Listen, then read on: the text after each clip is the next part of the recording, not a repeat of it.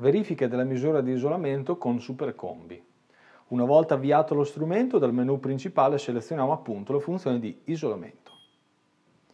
A questo punto abbiamo le impostazioni, possiamo andare a selezionare prima di tutto la modalità di prova, clicchiamo su quest'icona, abbiamo la modalità di prova automatica, quindi lo strumento gestisce in automatico l'esecuzione della prova fino a quando non rileva un eh, valore stabile, una modalità di prova temporizzata, dove andiamo a decidere noi il tempo di prova, le, le, prove da effettuare, quindi in questo caso una prova tra fase terra o una doppia prova quindi tra fase terra e neutro terra.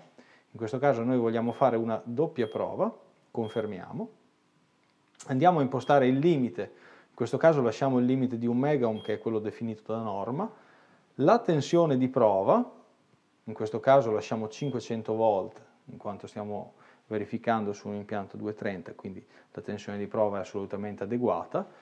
Tramite il tasto di Help possiamo andare a vedere, lo strumento ci propone alcune videate eh, esemplificative di alcune situazioni di verifica, eh, dove possiamo andare a vedere i suggerimenti di collegamento al nostro strumento e all'impianto. In questo caso andiamo quindi a collegarci tramite la spina asciugo in dotazione. Quindi andremo a mettere la boccola nera sulla fase, la boccola verde sulla terra e la boccola blu sul neutro.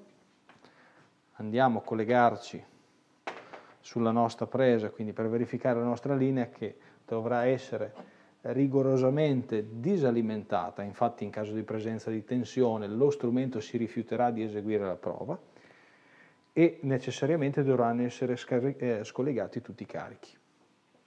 Avviamo la prova tramite il tasto Go Stop. Lo strumento esegue la prima prova questo punto esegue anche la seconda e ci fornisce un risultato positivo.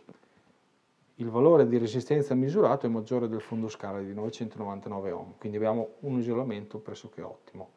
La tensione di prova applicata è di 516 e 517 volt. A questo punto possiamo tramite questo icono, il tasto Save, andare a salvare la nostra prova abbiamo la possibilità di inserire dei commenti, creare dei, dei, nodi per aggiungere dei marcatori, ma questo lo vedremo in un video dedicato. In questo caso ci limitiamo semplicemente a salvare la misura confermando.